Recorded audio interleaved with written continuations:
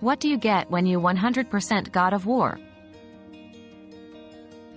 Achieving 100% in God of War rewards you with exclusive in-game items, such as unique armors and weapons, and possibly trophies or achievements.